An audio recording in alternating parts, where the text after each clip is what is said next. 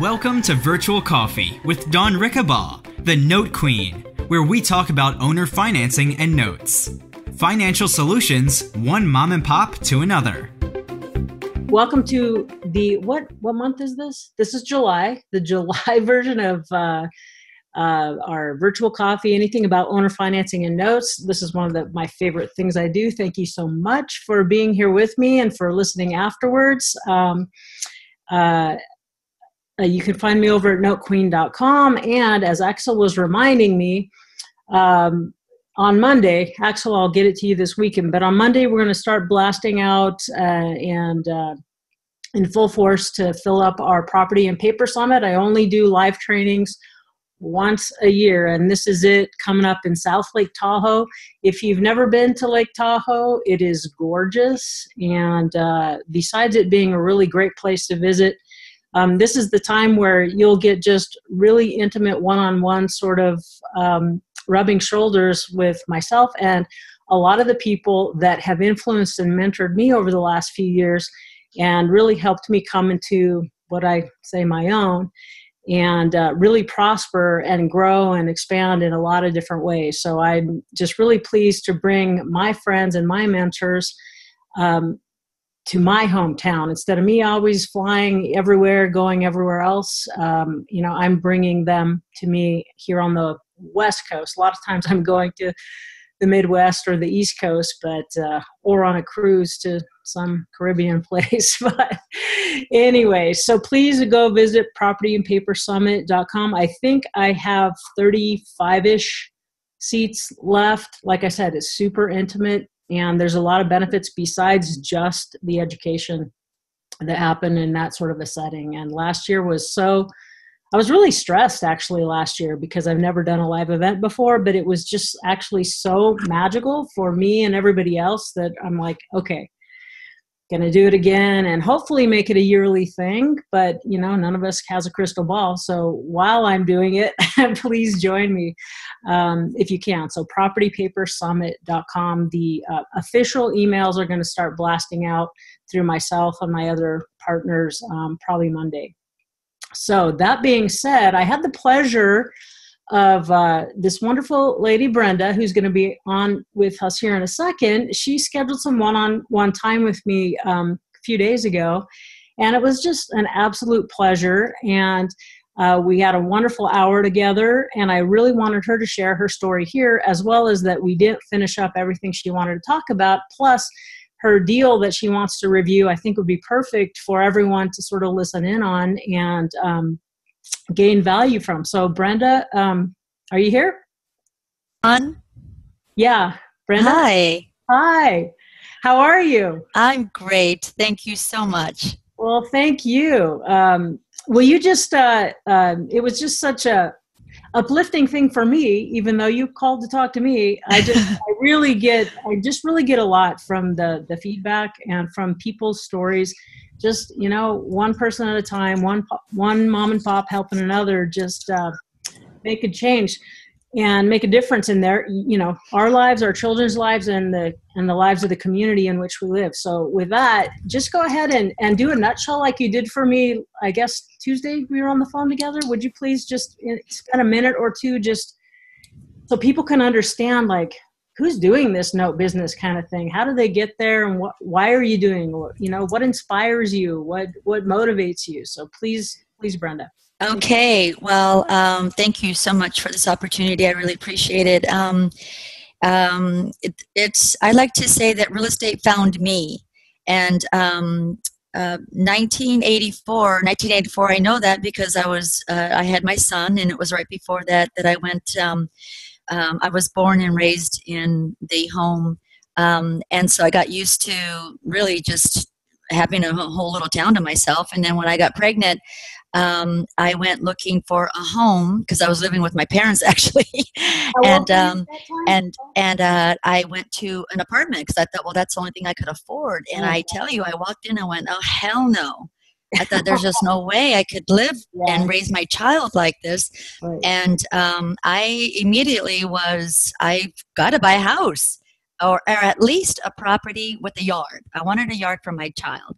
Right. And so everyone around me was like, "You can't do that. You can't do that." I'm 22 years old, Okay. and um, but I was so determined, and so I found a trailer, my first trailer, five thousand dollars over here in Boulder. Actually, that trailer court's still there, and it, interest rate at the time was 18 percent.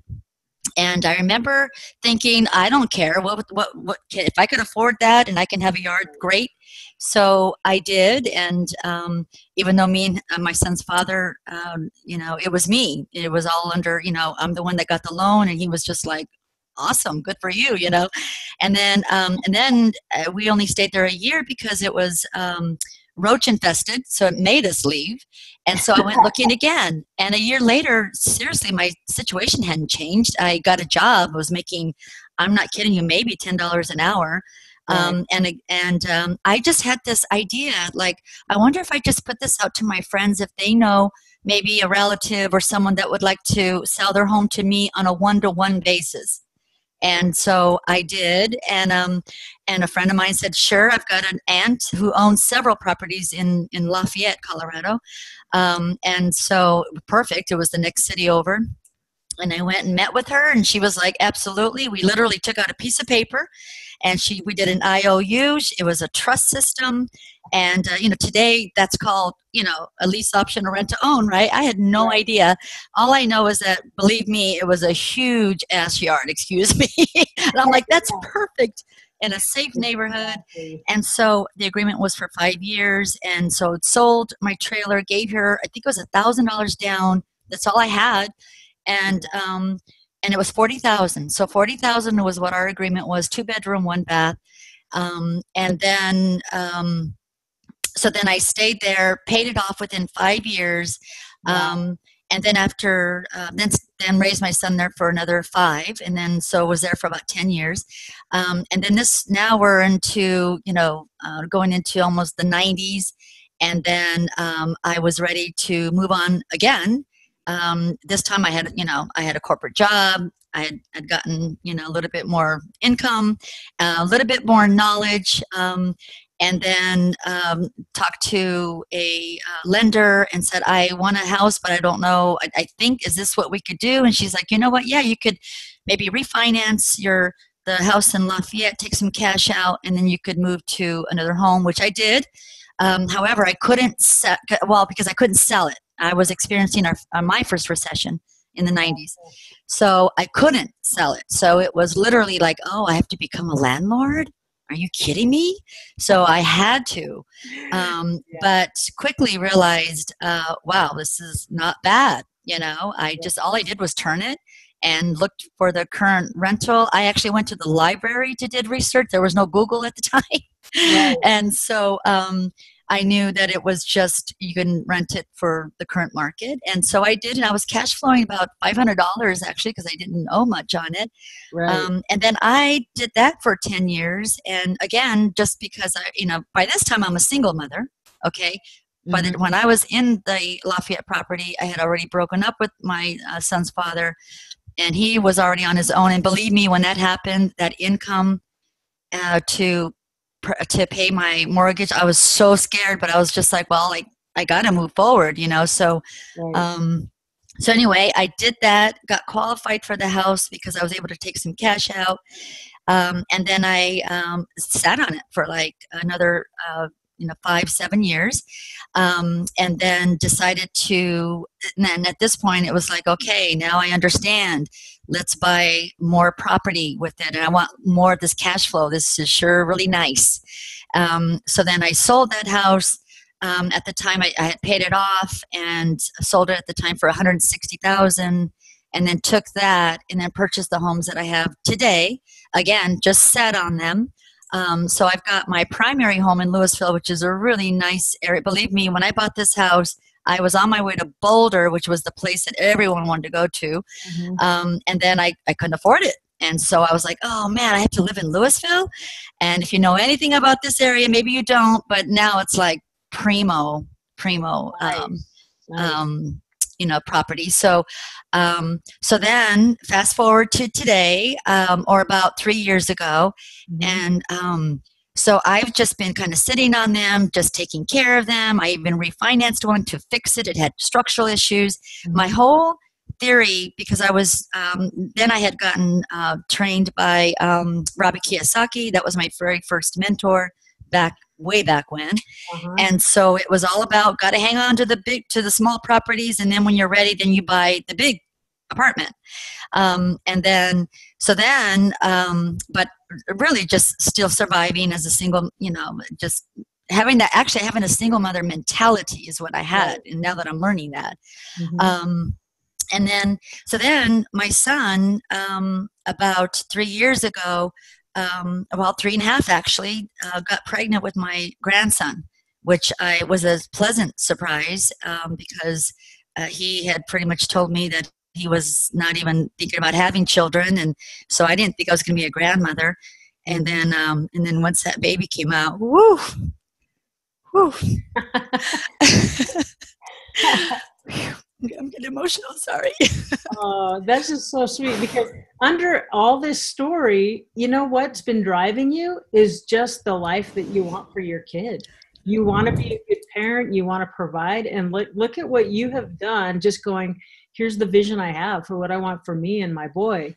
And now you got how many grandbabies? i got two So so then it just keeps expanding, right? So now you're like, hey, the, you know, maybe the properties I have now are good for my son, but oh my gosh, you know, the people I love is just expanding and I want to do more. That's what I am remembering from our combo. That's exactly what happened. It made me look at my properties. I was just sitting on them. I was fine. I was traveling. I was doing. It was just me. I'm single. I don't have a boyfriend, and so um, Look at um, what you've done though. Can you just step back and go, wow? Can you just step back and go, here's what a single mom's maybe making $10 an hour at the beginning, buying your first house at 22. Can you just step back and go, how amazing that is? And people say, you know, you just can't do it, or maybe she could do it because back then, now there's no opportunity.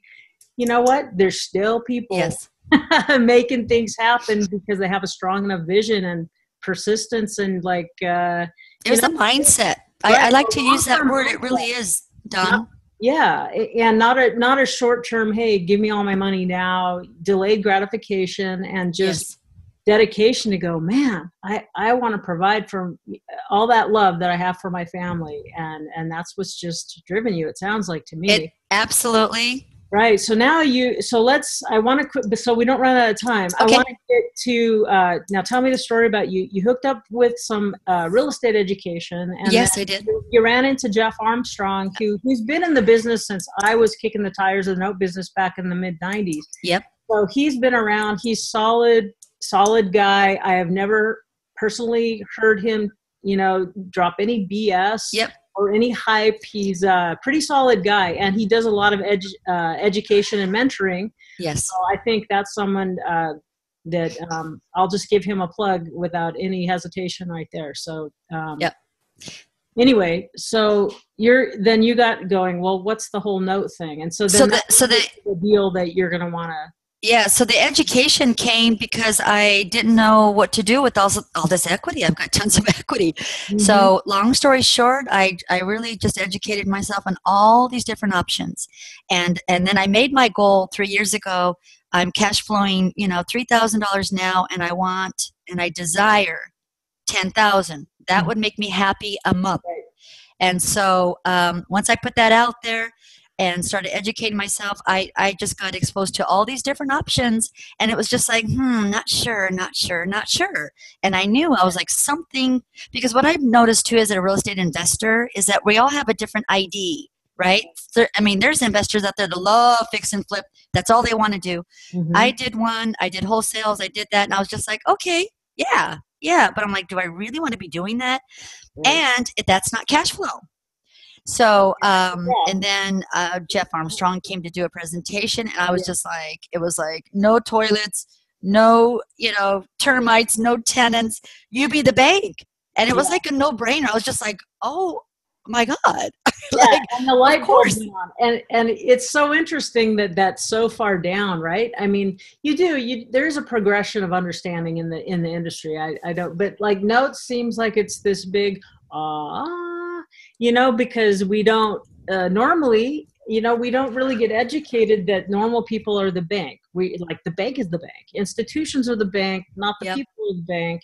And we don't understand the uh, um, the power that that can happen. So let's talk about so then you're like you got the in, introduction to jeff and all of these ideas um, and so now you have a property. Let's talk about the property. Let's get a, a real live deal and just hammer it out right here All right, great. Well, just so you know, I had to do a lot of uh, uh, these properties I've had for a long time, so it was a really emotional thing I had to get over. yeah So like get over it, and I had to totally look at it as a business. That's why I, I had to talk to you. I mean, I found you, and I thought I just loved you. I, I love everything about you, and so I was like, I didn't care how much you're consulting. I was like, let's do it. I want to hear her feedback, and um, because then finally I got over the emotion and went, all right, this is the property. This is perfect opportunity. So Mhm. it's a three bedroom, two bath, um, um, valued at 350. I owe 180, and right now I'm getting um, um, I, I um my mortgage is 1200 on that, and um, and then what else do you need to know? Yeah, so I'm I was just reaching for a pen because my whole office is ripped to pieces. So I'm I'm in the living room because I have no carpet and everything's a disaster. So pardon me, I'm for a pen. So the property that the the fair market value you said is 350 Yes. and you owe 180. Yep. Uh, and what? Uh, can you just give me the terms real quick on it? Like, wh- what are the terms? Like, what is the interest rate and The interest rate, um, I believe, is about you know four point four and a half percent. okay? Um, Thirty year amortized, Was it a fixed, 30 year fixed? fixed. Oh, nice. Okay. Sweet. And then, um, and the month, and is, uh, are taxes and insurance impounded into your monthly payment? It is Okay. And what is that number per month? twelve hundred. And what will, and, and what, what's the maturity date? How, how much farther you got to go before you're out Oh, it? you know, but I refinanced this before I got educated that I shouldn't. Oh, gosh. So, so you have another 30 years to go. Oh, yep, yeah, probably about like 28, 27. I think 2015 is when I did that. So basically 27 years to go. And, uh, what would this property rent for? If, uh, what's fair market rent? Well, right now I'm renting it for 1900. Oh, nice. Okay. That's great. And are you managing it yourself? I am. And is 19 high, low, or about right? It's about right. Okay. Great. Fantastic. So, um, excellent. Now, what is your goal? So now what you're going, hey, I'm going to take this property of the, you told me you have a handful of properties or something, and you're going to go, I want to try. I'm going to Yeah. put on the hat of trying to be the lender. And for, and when people ask me, um, or anybody that's been in the business, they go, oh, how do you get in the business? I want to be in the note business. And I go, you know, the low hanging fruit is Yeah. just sell a property that you already own and carry the paper. Voila, you're in the note business. Or if you have capital sitting, lend it to somebody else. Voila, you're kind of you're kind of in the loan business, but you know, loans and owner carrybacks and buying discounted paper, it's all secured by a note and a deed of trust or a note and a mortgage, right? So Yeah. or, or a contract for deed in some parts of the country. But Yes. um, you're in the note business if you are not a landlord and receiving cash flow um, that's secured by real estate. So, So, uh, so like- not only did Jeff say that, I Yeah. heard it the first time. That would make me go through the emotion. And then I heard Right, you it's say like, it, and I went, "Oh, oh. my-" like it, it- they become your babies, right? Yes. Well, the grandchildren came along; these were your babies, right? yeah, right? So it is. It's very emotional. But the beautiful thing is when you carry paper on it, that same property, you're not like divested. Right. You're still very much involved in this property, but just wearing a different hat, exactly." allowing someone else. Like you had a really, you didn't even know what an awesome deal you had.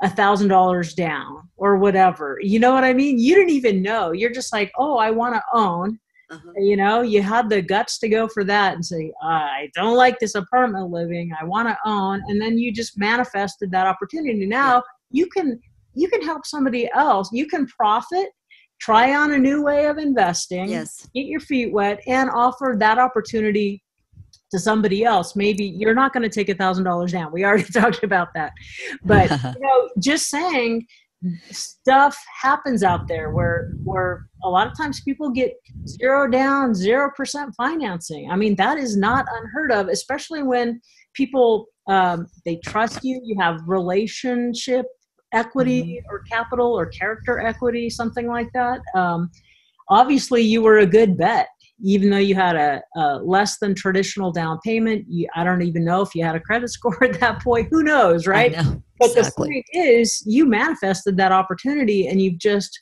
Yeah. leveraged and kept going, and this is fantastic. So you're going to do something good for you, for your your kids and your grandkids, and give someone else an opportunity who is worthy and capable to own a home without having to qualify for bank financing. Isn't this awesome? Like yes. like one, like I keep saying, my little tagline: one, you know, creating financial solutions, just one mom and pop to another. So That's right. what do you want so let's let's crunch around this deal it's worth 350 uh and uh did you get that by appraisal or Yeah, I um, I looked into selling it. Well, you know, in my quest to uh, figure out what to do with this property, I had to, of course, look at the value.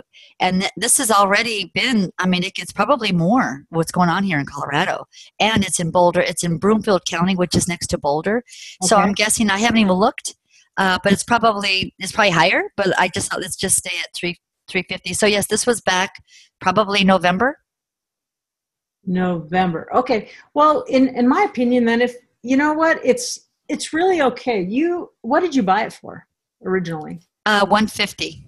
okay are you doing okay on this property I'm doing amazing. okay you're doing okay on this property right you have 200000 in equity that you have already sort of realized and you have more yet to realize right That's right. so um so you can afford it's it's better see what you want right is you want long-term cash flow from this property i mean of course you're not going to lock into someone they can refinance or sell the property if they want to right Right. but really your vision is to just put on a different hat from landlord to lender Yes. and uh, get that passive income, but you don't want a headache. I mean, That's the whole point of going from land landlording to lending is not not to have headaches. So, how do you avoid that? Your underwriting. You know, uh, banks have underwriting departments. If you're going, if you're a mom and pop owner carry type person, you have to be your own underwriting, or hire someone like me or Jeff or something like that to say, how do you create a note that's worth holding or selling, right? So now, and it's okay. So what you want to do is obviously we've talked about this. You want the biggest down payment that they can afford, right? Like Yep. 20 there's a reason that 20% down is conventional lending because at that point the statistical likelihood of default is much much lower. Right. you want them to be able to afford it. So uh, if someone can obviously people are paying $1900 a month. So it, it sounds to me like maybe they could pay 100 or 200 more and uh, for for the tax breaks that they'll get from ownership right? Yep. um, and all of that. So uh, you know with your 1200 piti and that it's fixed you you can leverage. So you're going to basically do a wrap is what we're Right. talking you it, it's cleaner. Most people like it better in their minds. Sorry about that. Uh, when um, when it's free and clear because then you don't have to worry about it. But it's very common to do uh, uh, aitd all-inclusive trust deed or all-inclusive mortgage so that mortgage, that bank loan staying in place, so that's already there. That's really in first position, and you're going to be wrapping with a larger loan that includes this loan, right? So Right. the new person's going to pay you, and I, I know you know this, but I'm just explaining. To No, no, no. That's great. Right, so Yes. so they'll pay you a bigger payment, and then you pay the out of that, and you'll probably have a servicer. Yeah, I would highly suggest you have a, a Yes. a neutral third party loan servicer licensed uh, and, and then they so they pay the PITI to the bank and um, and then they pay you the remainder so that way the borrower knows the new buyer knows that you're not going to you know take the money and default on the loan and then you you know everything is just tidy that way and so the only risk that you have is that you know there could be um, technically the bank would have the right to accelerate if they found out about a transfer title. Uh, so there is a remote possibility that they, you know, if they if interest rates went up, I think I think the pressures. Uh, I know they're planning interest rate hikes, but I think Trump's administration is trying to keep them back down so we don't ruin the economic um, uh, energy momentum that has been started. But if interest rates are re- really high, they might get busy and start calling accelerating. Right? With they have the right with the due on clause to accelerate if there's a transfer of title. Um, there are ways to get around some of that and minimize that, um, but that's the kind of inside sort of talk you'd have to come to the, the summit to hear. But, uh, but anyway, but yeah, this is very valid. It's maybe a one or two percent likelihood that that loan could get called, and in the meantime, let's talk about it. So. Um, we talked about doing 20%. So I'm going to get out my trusty little calculator. And if you do not, if you do not have this app that uh, some version. I love this one by in it in a day development. Uh, HP 10B2. Anyway, I just love this, right? So yep. look, so we're just gonna do this. So um, let's just make it up. If so, so I, I keep getting lost. But what I want to go back to, and, and, we need to wrap this up in about five minutes. Uh, but I'm talking super fast. so. Um, uh, so it's okay if you leave a little equity because then not only do they put a big down payment down and have decent credit, right? Mm-hmm.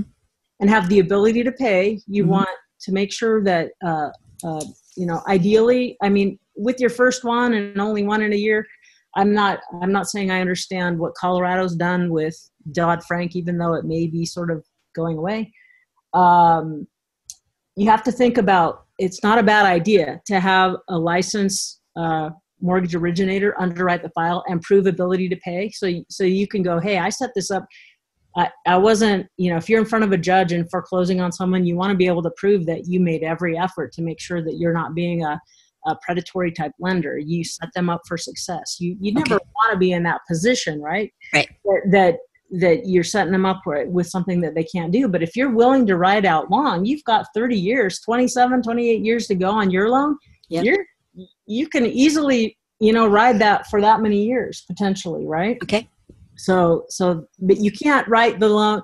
You can't write your note uh, longer than what you're. Well, you have a fully amortizing loan, so it doesn't really matter. But really you you have to you can you can't generally in most cases give better terms or uh, longer terms than you have. Like if you had a 10 year balloon then you better write a 10 year balloon into the next person right?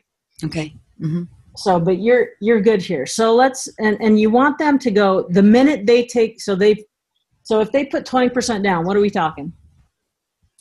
What is that if it's 350 if they're going to pay 350 you put it on craigslist or uh, you know for sale by owner zillow is very effective in my part of town. So for sale by owner zillow um, was helped me sell a couple of properties really quick although i do love realtors in, in most instances. So anyway so that's $70000 so if they're going to put down $70000 that so that that's the skin in the game, right? So, and also the idea that if they've got a little bit of equity, maybe the market value would come up at 380.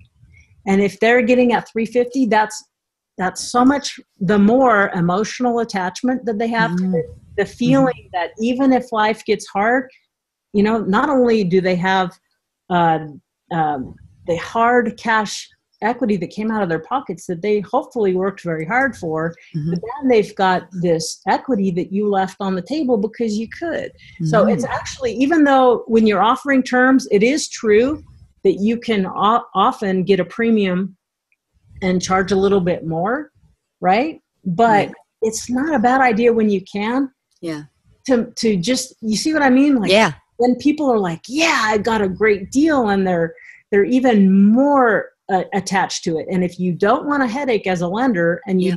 haven't done the deal hoping that they're gonna you're gonna get it back and they crash and burn, then you want them just to send the payments on time. You just right. want that ACH'd into your account and you don't want to have to worry. So That's right. so, right? So it's okay to leave equity when you can, right? Okay. It's very great. So basically we got 350 minus 70,000 which is 20% down. That would be ideal. Now I don't know if you'll get it. You may get less, a little less, you may get a little more.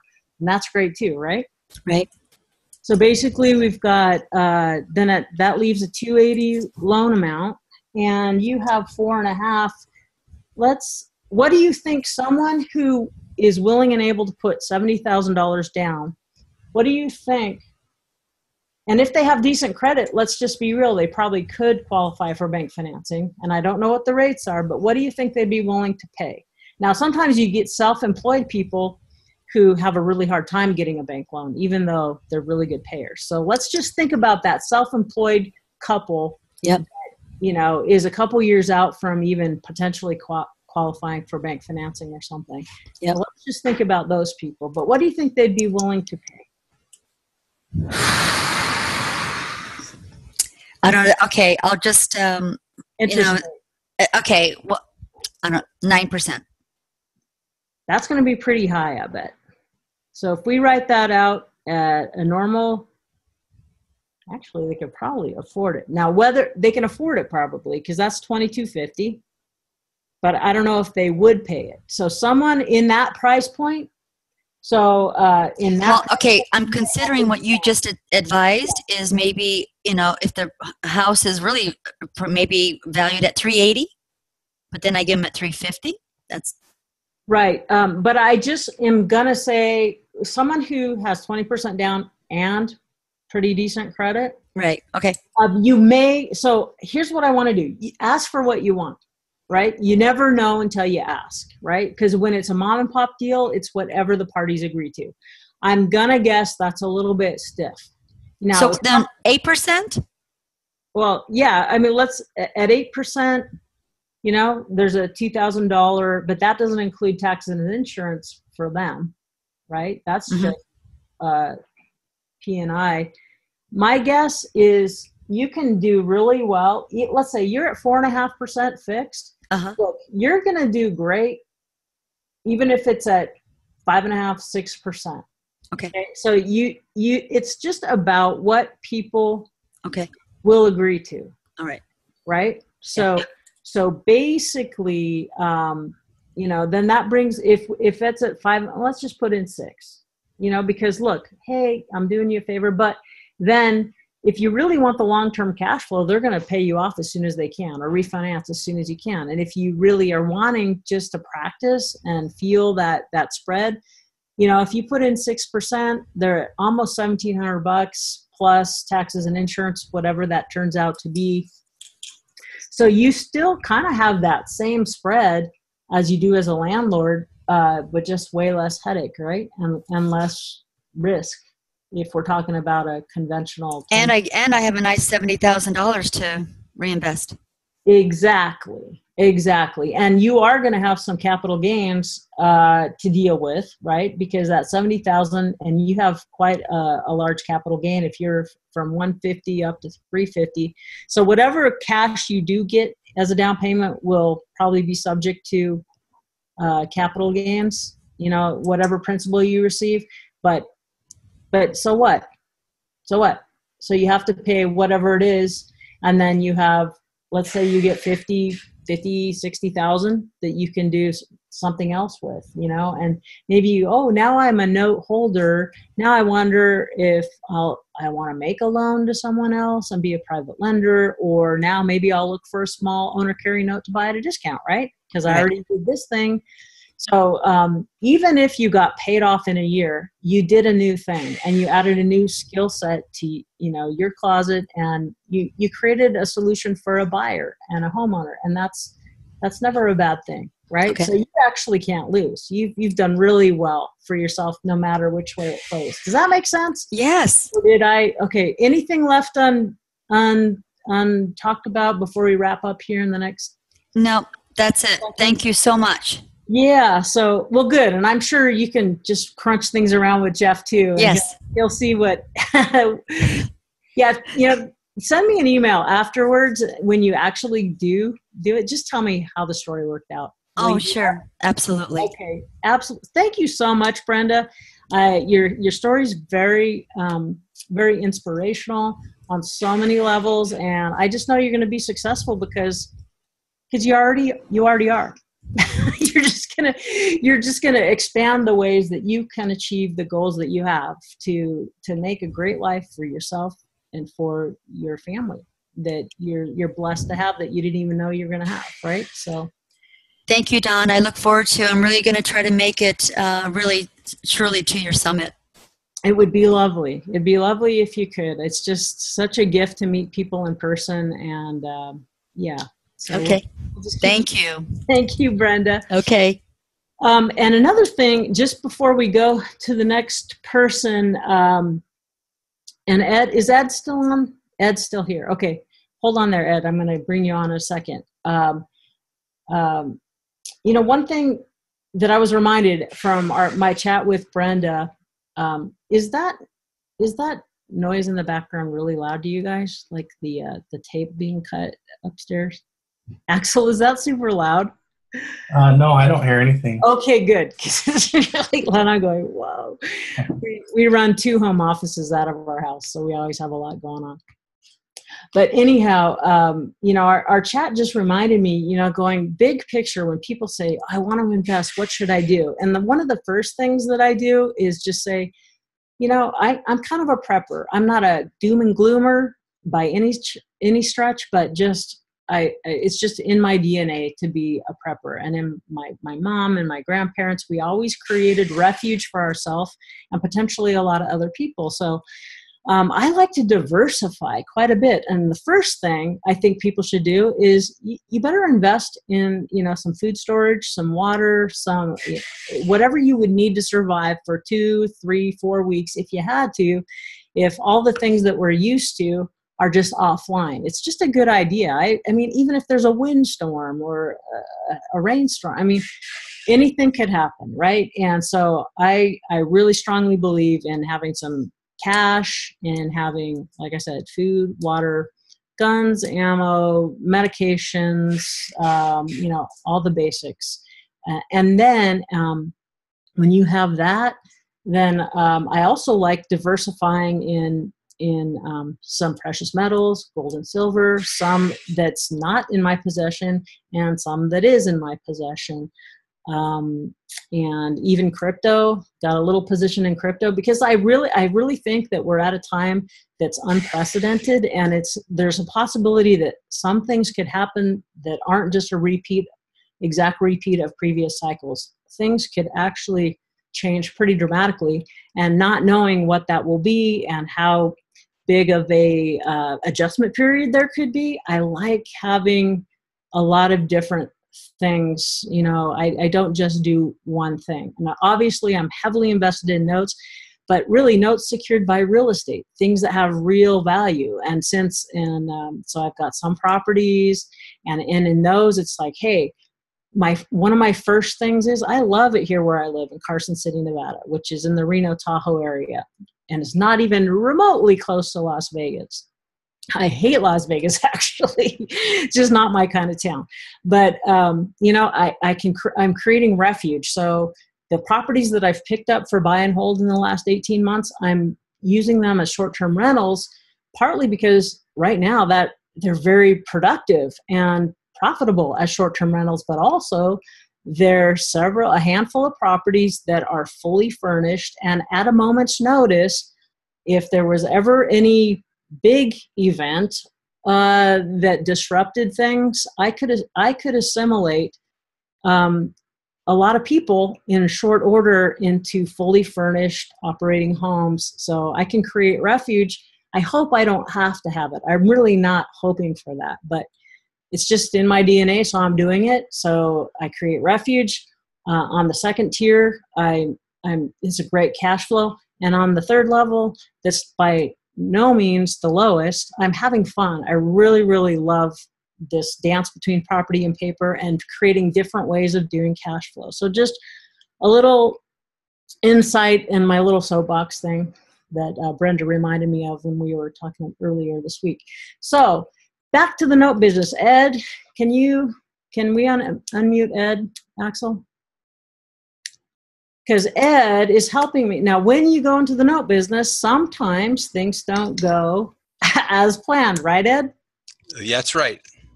okay, and so Ed, uh, you've been doing private lending uh, for a while over in the uh, Baltimore, Maryland area, and uh, then because of some deals that went bad, then uh, you had to take a couple properties back and get them sold or dealt with on some level, right? Yep. I became a rehabber. you became a rehabber because you had to take back the property. So you just have to know that when you- you're not you're not at a Disneyland ride. I mean, even if you do everything right by the book and by the guidelines, you know, life happens, right?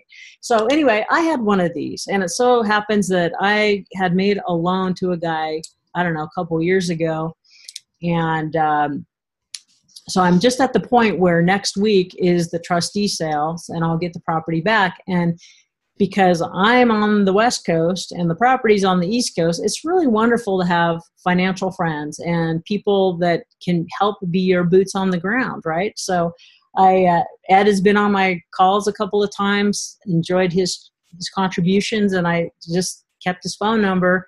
So I just called you out of the blue, what yesterday or the day before, and said, "Hi, Ed." By chance, can you drive by that property for me? Because I need to figure out what my opening bid's going to be. I really do not want this property back. I mean, even if I have to leave money on the table, I don't want to rehab over there. So, what did you find out? What did you find out? Were you able to go by this morning? Yes, I drove by this morning, and I also, as we discussed the comps that my uh, realtor friend Mm-hmm. provided, I studied them last night and picked a half a dozen comps, and I drove by them too. Oh, So- thank you. Wow, you really went above and beyond. I really appreciate that. Well, you provide a wonderful service with the uh, Oh, virtual coffee that you do, and I think it's good if we can participate and help out too. thank you so much. Okay, so Yeah. let's. Uh, this is. I don't think you're going to be happy with I have what I have to say, but Okay. um, uh, your property is is near a lot of boarded up properties. Oh, great. Okay, Yeah.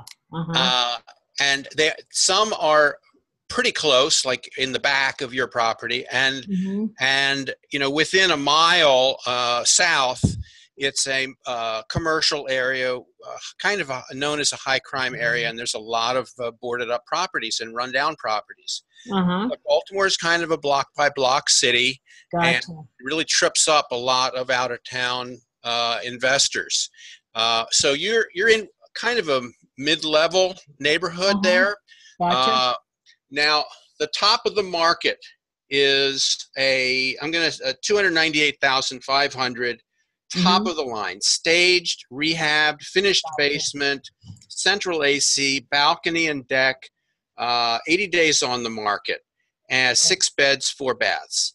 And that's the absolute top of the market in that area. It's the best house on that block, gotcha. one of the best. Gotcha. So your hope to get 300,000, I think, is a big reach. Um, Oh yeah, I. But, you know, and let me just back up. And this is one of the pitfalls of. I mean, there's many, many uh, benefits for doing uh, deals, note deals all over the country, but you are relying on BPOs or appraisals from people, and sometimes they're not accurate. you know what I mean? Like, uh, so I'm just saying that even if you do your due diligence and you get your BPOs and your appraisals, um, there's there's more. I- would say there's a dozen times where I've going. I go, where did you get? The, you know, by the time you get it back, it's worth a lot less. Either they were misrepresented, they didn't know what they were doing, or you know, they were influenced at some point. So go ahead. okay. Uh, the next nice property Right. listed for 165, sold for 150,000. It's a much smaller property, a little over a thousand square feet, three bed, Okay. two bath. And that's a beautiful rehab based on the listing. It was staged, central AC, unfinished basement, and on street parking in a tight parking area. Gotcha. So that's a smaller property than yours because you've you've got uh, two I'm sorry for the pause here. You've got uh, two, 2,100 square feet above basement level. So Okay. this is a much smaller property, but it's it was beautiful. You know, Right. the listing was was great, Right. and it's in a nicer neighborhood, um, more uniform neighborhood than yours. Now we had a very peculiar situation in that you have an incomplete rehab, and there were two incomplete rehabs in the comp group. oh, Um, really? yeah. Uh, so one of them has uh, 1,700 square feet, three bed, three baths, three and a Uh-huh. half baths. Uh, that sold for 130,000 in July, uh, July 19th. Okay, Um, on 33 days on the market, street parking, central AC, and it's overgrown, as your yard is overgrown also. So that 130 is a possibility for you as um, as a uh, auction price.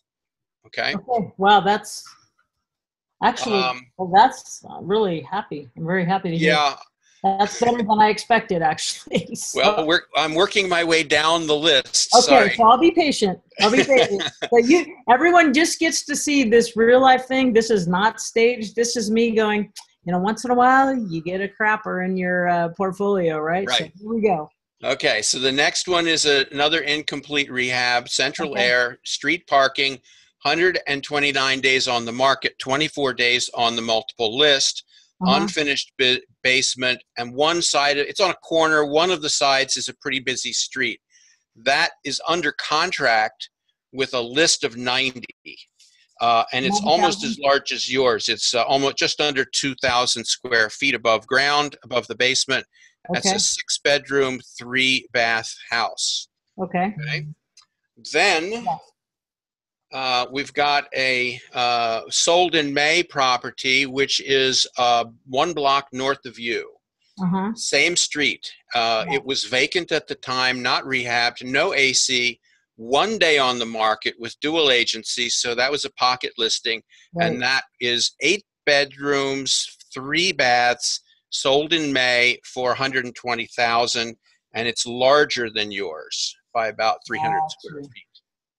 And I did see someone sitting on the porch this morning, so it doesn't look like that's being rehabbed.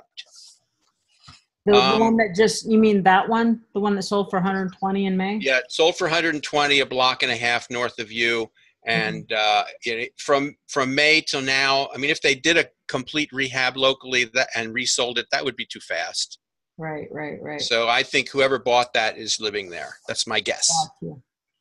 Um, then my last one is the most discouraging, and that is a property that was uh, originally listed for a hundred thousand. It's boarded up. It was on the market for eighty-eight days, and the uh, has radiator heat, no AC, parking, street parking, boarded up, and the four-bedroom, uh, one bath, about the living space of yours and they gradually lowered their price until they sold it at thirty thousand dollars.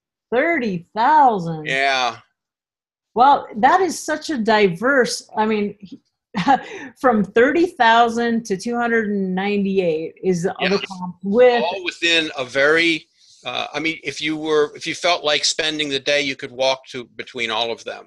You know. That is just crazy. Now, so Ed, if you were me, what would you do? Well, give me a moment, okay? So I also looked at your property, and I couldn't really compare because I don't know that much about it.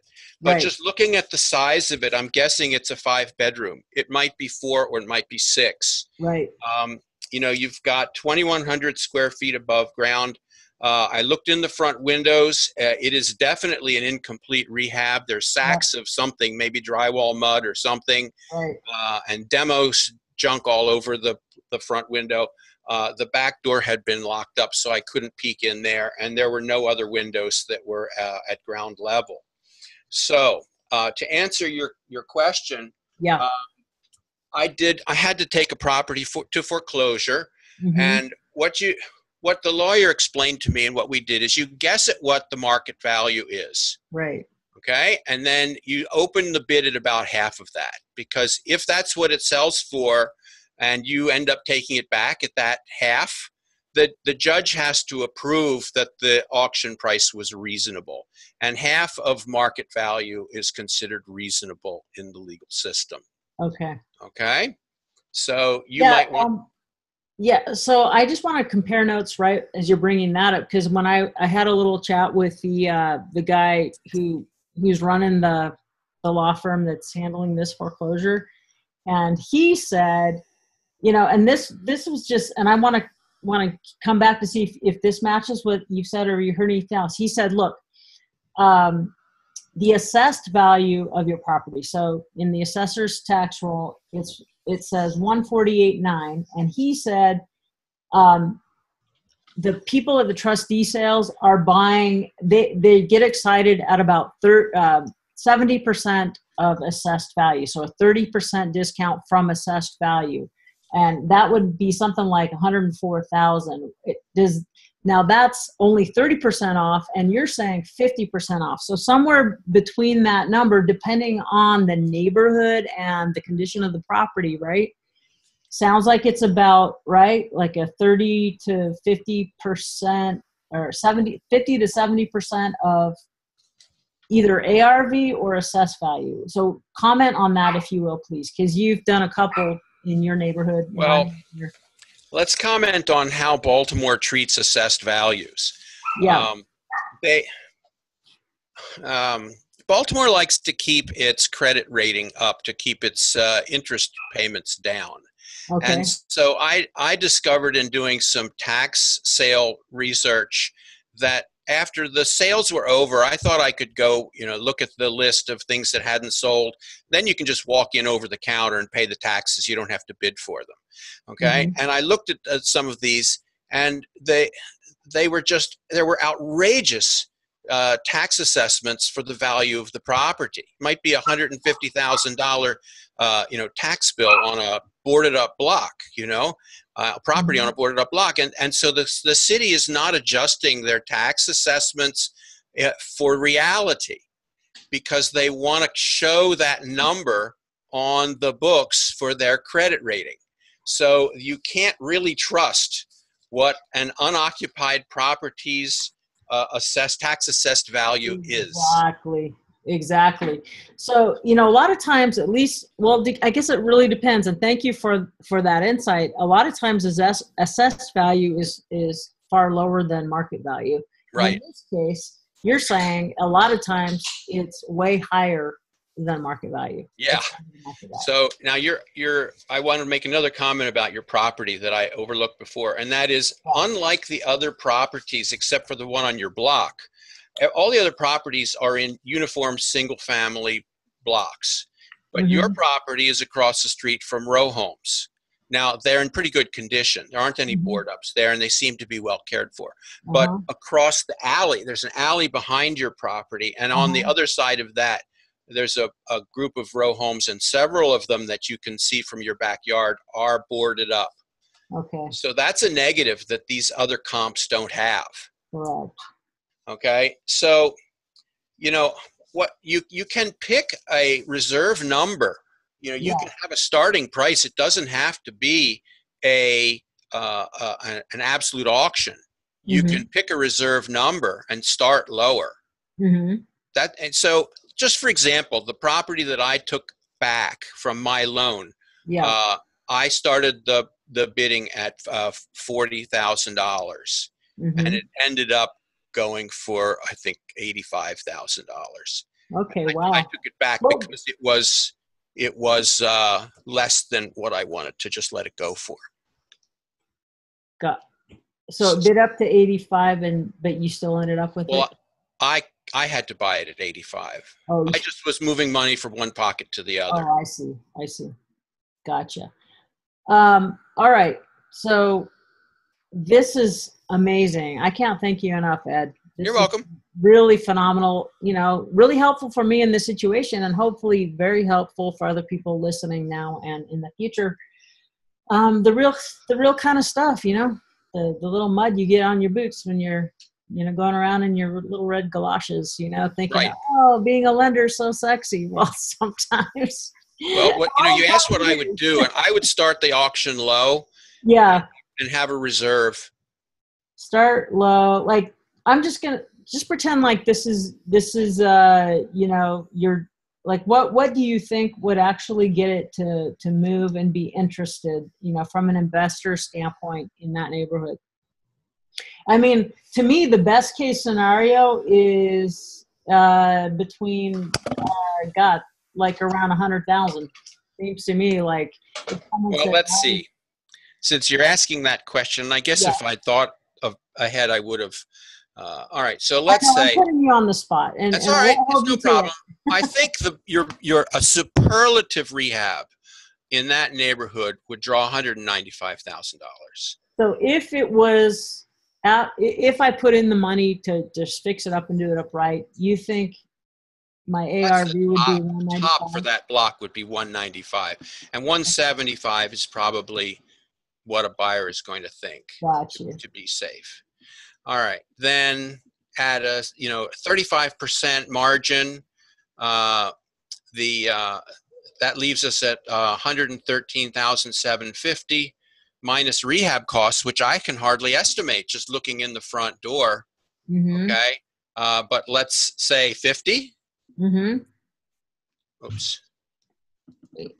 So I'm at sixty-three thousand seven fifty. That's what I would hope for if I put this on auction, and I would start lower than that. So you would be hoping to get sixty three.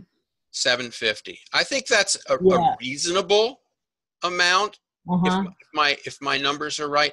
Now, the available properties are very scarce, and so it might get bid up beyond that.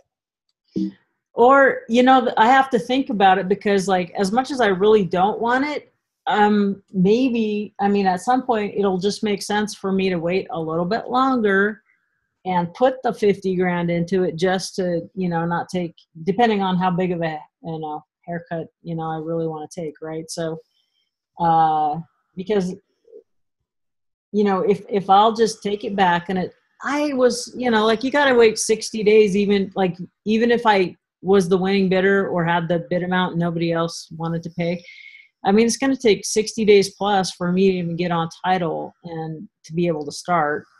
But anyway, if I put the 50 in, then I could, uh, you know, if you think 175 is kind of a realistic number, I could, you know, just I was telling Brenda before, I maybe could get a little more if I'm willing to carry, but then, then I want to go, I would need a pretty big down payment not to have the same thing happen again, where I have to foreclose again, you know, on the same property. So, um, really a lot to chew over. That that gives me at least something real, and and that's what's the biggest problem in the note business when you're buying stuff that's not in your backyard, which is most of the note business is in your backyard, unless you're a private lender and you just lend in your own community.